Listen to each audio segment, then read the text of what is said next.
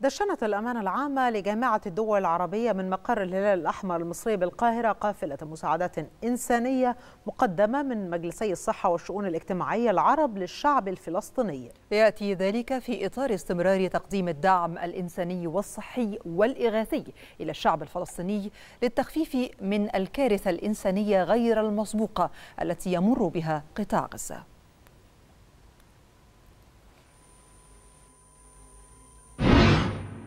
وتم التنسيق بشأن هذه المبادرة الإنسانية من مجلس وزراء الشؤون الاجتماعية العرب ولهم كل الشكر والتقدير بقيمة 400 ألف دولار لشراء مستلزمات طبية وإغاثية وذلك وفقا لقرار مجلس وزراء الشؤون الاجتماعية العرب والذي أقر بتخصيص مبلغ مالي لهذه المساعدة. إحنا اليوم في ظل الأجواء الحزينة اللي بتمر بها الأمة العربية ويمر بها الإنسانية عموما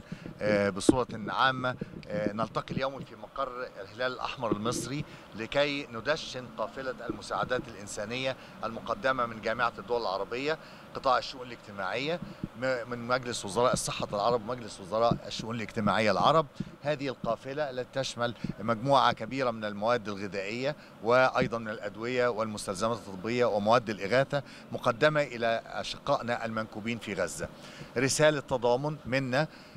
واستكمالا لرسالة الهلال الأحمر المصري الذي بدأت منذ بداية الأزمة، الهلال الأحمر المصري يقوم بالتنسيق مع الهلال الأحمر الفلسطيني لتقديم